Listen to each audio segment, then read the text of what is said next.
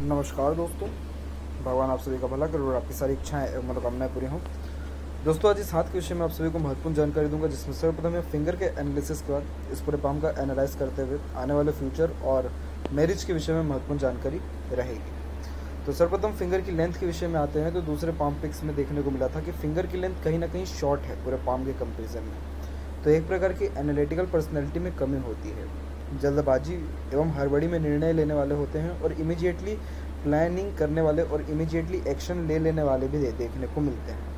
अब जैसे यहाँ देख पाएँगे कि लिटिल फिंगर की लेंथ भी थोड़ी शॉर्ट है तो कहीं ना कहीं अपनी बात को प्रॉपरली नहीं रख पाना एक प्रकार की हिचकिचाहट, घबराहट और साथ ही साथ अपोजिट जेंडर को लेकर के एक प्रकार का शाइनी शाइनी शर्मिलापन भी रहता है। इसके अलावा कहीं ना कहीं रूल्स रेगुलेशन डिसिप्लिन को मेंटेन नहीं कर पाना, उस प्रकार का प्रेजेंटेशन नहीं दे पाना।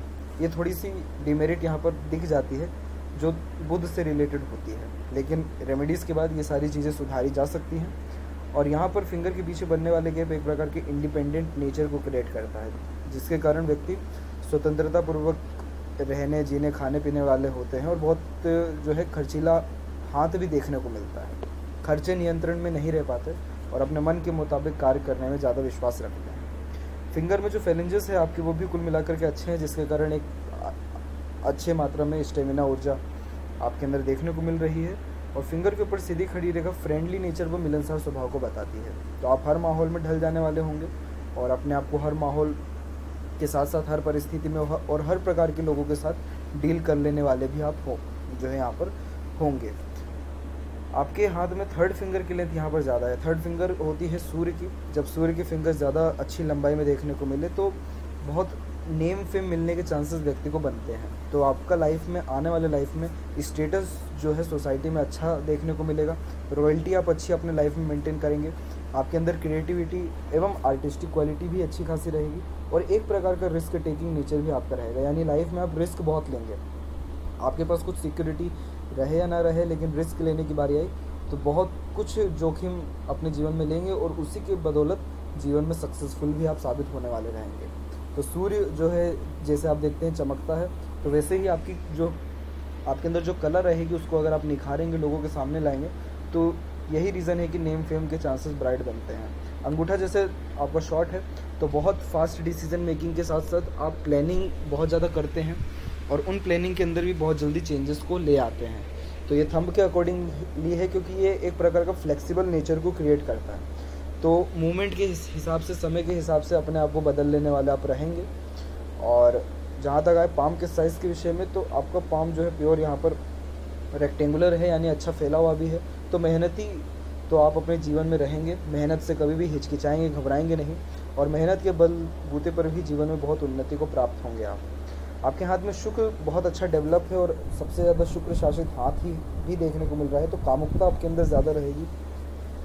इसके अलावा लग्जरीज सुख सुविधा, इन सब की चाहत आप जैसे लोगों में ज़्यादा होती है। बहुत अच्छा एक रॉयल्टी जो आप मेंटेन करेंगे सन के कारण, लेकिन लाइफ में दिखावटी चीज़ें भी आप अपनी लाइफ में बहुत मेंटेन करेंगे। जैसे दिखावटी चीज़ें कि जिससे देखने में एक अलग ही मज़ा आता हो, जो लोगों के पास नहीं हो, वो आपके पास हो, और एक प्रकार से अच्छा खासा गाड़ी, घोड़ा, बंगला घर बार अच्छा रहन सहन खान पान एक प्रकार का शौकीन किस्म का नेचर, ये सारी चीज़ें शुक्र व्यक्ति को देता है।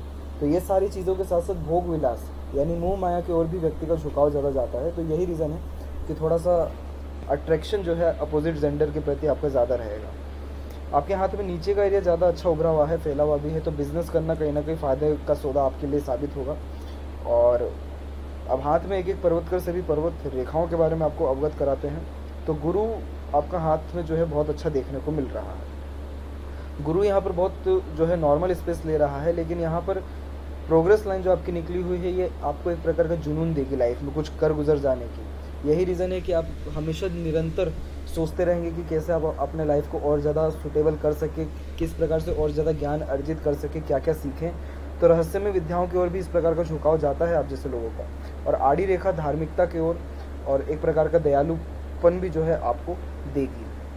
शनि पर्वत आपका वीक है यहाँ पे। जब शनि पर्वत वीक होता है तो चीज़ें आसानी से ही नहीं मिलती। उसके लिए मेहनत व्यक्ति को बहुत ज़्यादा करना पड़ता है और शनि किसी न किसी प्रकार से कार्यों में रुकावट देरी और चिंता भी बहुत ज़्यादा दे, देता है। तो शनि के उपाय करना बेहद ज़रूरी है। देखिए आपका भाग्य रेखा भी यहाँ पर रुक रहा है।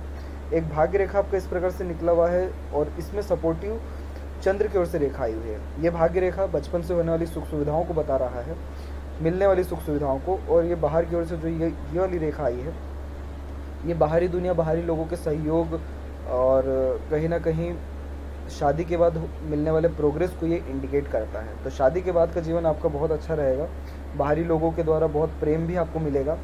और ये रेखा आकर के आपके माइंड लाइन के आसपास में रुक गई और ये जो एज है, ये थर्टी थ्री एंड हाफ़ के एज के आसपास में है। तो इस एज के आसपास में आने के बाद लक में चेंजेस रहेगा और प्रोफेशनल लाइन में चेंजेस होता हुआ देखने को मिल रहा है उसके बाद लक लाइन आपकी इस प्रकार से कमज़ोर होती हुई चल रही है। तो आपको शनि के उपाय करना यहाँ बेहद ज़रूरी है ताकि फ़ायदा आपको जल्द से जल्द मिल सके। तो जीवन में आपके जितने भी ट्रबल आ रहा है, जैसे रुकावटें आ रही हैं कार्य कार्य बनते बनते बिगड़ रहे हैं, जो सोच रहे हैं वो तो हो ही नहीं रहा है और देरी बहुत हो रही है, चिंता भी बहुत रहती है। और गुस्सा भी बहुत आता है तो ये सारी की सारी रीज़न जो है शनि के कारण ही बनते हैं। सूर्य पर्वत आपका नॉर्मल है, कोई रेखा यहाँ पर नहीं है तो लाइफ ज़्यादा स्ट्रगल में तो साबित वैसे नहीं होगी, आपकी बहुत सारी चीज़ें आसानी से मिल जाने वाली रहेगी। जैसे घर बार से मिलने वाला सुख है, घर बार के द्वारा किसी न किसी प्रकार का बिज़नेस या किसी न किसी प्रकार की प्रॉपर्टी मिल जाना, इस प्रकार के योग थोड़े से ज़्यादा बनते हैं। और मरकरी माउंट भी आपके हाथ में नॉर्मल है।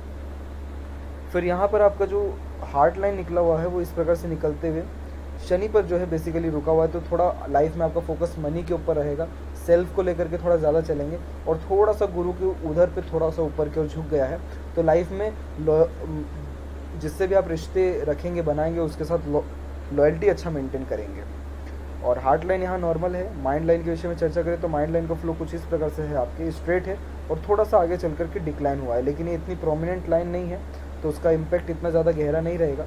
लेकिन माइंड लाइन जो है आपकी स्ट्रेट चल रही है तो लाइफ में स्ट्रेट फॉरवर्ड रहेंगे आप। अपने बात को सीधे व स्पष्ट रूप से बोलने वाले रहेंगे। लॉजिकल नेचर भी रहेगा। कॉम्पिटिटिव एग्ज़ाम अगर चाहें तो आप अच्छे से क्रैक भी कर सकते हैं, क्योंकि आपका माइंड इसके लिए जो है कैपेबल देखने को मिल रहा है। लेकिन पुराने से पुरानी एवं छोटी से छोटी बातों को भी याद रखने की क्षमता आपके अंदर अच्छी रहेगी। और यही रीज़न है कि माइंड लाइन आपकी थोड़ी सी शॉर्ट ज़रूर है, लेकिन स्ट्रॉन्ग है ये। जिसके कारण हर परिस्थिति से लड़ने की और निकल जाने की काबिलियत आपके अंदर अच्छी रहेगी। अब यहाँ पर जो आपकी लाइफ लाइन और माइंड लाइन इंडिपेंडेंट हो रहा है तो ये जो एज क्रिएट हो रहा है यहाँ पे 22 टू अप्रोक्स एज के बाद में प्रोफेशनल लाइन में आपकी एंट्री होगी। और लाइफ लाइन का फ्लो कुछ इस प्रकार से निकलते हुए बाहर की ओर थोड़ा झुका है, फिर अगेन अंदर की ओर आ गया है। तो थोड़ा विदेशी भ्रमण के योग भी अच्छे बन रहे हैं, क्योंकि ऑब्वियसली चंद्र का भाग्य भी है आपके साथ तो विदेश जाने का मौका तो बेहद देता है ये। और जीवन रेखा के सहयोग में चलने वाली कुछ इस प्रकार की रेखा भी भाग्य में उन्नति के साथ साथ जीवन में मिलने वाले दूसरों से मिलने वाले सहयोग को बताता है। तो आप जब भी किसी दिक्कत या मुसीबत परेशानी में रहेंगे, आपको दूसरों का या किसी न किसी का बहुत अच्छा सहयोग जीवन में मिलता रहेगा, जिसके कारण आप उन तकलीफ़ों से निकल जाएँगे। लेकिन ये जो सहयोग भी है, ये ट्वेंटी वन एज के बाद में देखने को मिल रहा है। मंगल रेखा है आपके हाथ में छोटी सी, प्रॉपर्टी के योग भी ब्राइट है और शुक्र तो है ही अच्छा जो कि आपको हर प्रकार की सुख सुविधाएँ जीवन में देगा और सीधी खड़ी रेखा भाई बहनों के सहयोग के साथ साथ मिलने वाले अपॉर्चुनिटीज़ को भी बताता है। केतु पर्वत आपका कुल मिलाकर के ठीक है नॉर्मल है। ब्रेसलेट का साइन यहाँ पर कंपेरेटिवली अच्छा है, जिसके कारण हेल्थ आयु अच्छी होती है। लेकिन यहाँ जो छोटे छोटे से जो जालीनुमा आकृति बने हुए हैं, ये थोड़े से जो है मानसिक तनाव के साथ साथ किसी न किसी प्रकार से छोटी मोटी कुछ ना कुछ दवाई गोली लगी रहने का योगों को यहाँ पर बताता है। लेकिन कोई ऐसा मेन इशू ट्रबल नहीं है। चंद्र पर्वत आपका नॉर्मल है यहाँ पे तो सकारात्मक मन व ऊर्जा आपका यहाँ पर रहेगा। और बाहरी मंगल के विषय में चर्चा करें तो बाहरी मंगल भी कुल मिलाकर के अच्छा उभरा हुआ है। तो कहीं ना कहीं शारीरिक गठन, बल, ऊर्जा के साथ साथ मानसिक बल आपका बहुत अच्छा देखने को मिल रहा है। तो साहसी आप अपने जीवन में रहेंगे, पराक्रम बहुत अच्छा कर लेने वाले रहेंगे। और यहाँ से इस प्रकार की रेखा जो निकल रही है तो ये भी जागृत हो रही हैं। ये बेसिकली बिज़नेस लक लाइन है, जिसके कारण व्यक्ति को व्यापार में बहुत उन्नति मिलती है और दूसरा हेल्थ इम्प्रूव अच्छा होता है, स्वास्थ्य भी अच्छा रहता है। तो यहाँ पर आगे चल कर के ये रेखा मज़बूत हो जाए और इस प्रकार से अगर मनी ट्रेंगल यहाँ पर प्रॉपरली वेल डेवलप्ड हो जाए इन रेखाओं के माध्यम से तो ये जो है बहुत अच्छे धन के योगों को बताता है, जिसके कारण व्यक्ति धन तो बहुत अच्छा कमाता है, उस धन का सदुपयोग भी कर पाता है और अपने पास रोक भी पाता है। तो हालाँकि ये रेखा जागृत हो रही हैं तो मरकरी के भी उपाय आपको करने चाहिए, ताकि आपकी कम्युनिकेशन में जो डिसीज़न मेकिंग स्किल जो आपकी थोड़ी वीक शो हो रही है, उसमें कन्फ्यूजिंग माइंड में इन सब में जो है अच्छा सुधार कर सके और शनि के उपाय करने के बाद भाग्य में उन्नति आपको देखने को मिलेगा।